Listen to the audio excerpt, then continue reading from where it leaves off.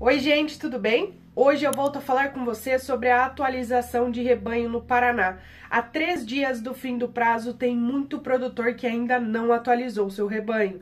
Lembrando que isso é obrigatório para todos os produtores que tenham qualquer espécie em sua propriedade. Caso contrário, eles serão penalizados e até multados. No oeste do Paraná, por exemplo, tem algumas cidades em que quase 50% dos produtores não fizeram a regularização, e esse número é bastante preocupante.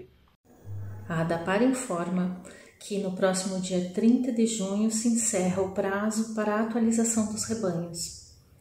Convocamos então todos os produtores que ainda não atualizaram os seus rebanhos, bovinos, ovinos, caprinos, suínos e demais animais, que compareçam às unidades da ADAPAR ou escritórios de é, atendimento municipais, sindicatos cadastrados ou façam por meio de aplicativo ou do site, que tem até o dia 30 para realizar essa comprovação.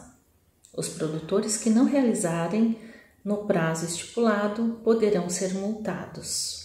Então, fica o alerta. É isso, gente. Mais um vídeo aqui no canal do Portal Sul Agro. Se você ainda não é inscrito, já sabe, né? Se inscreve, ative o sininho e fique por dentro de tudo que acontece no agronegócio. Até a próxima!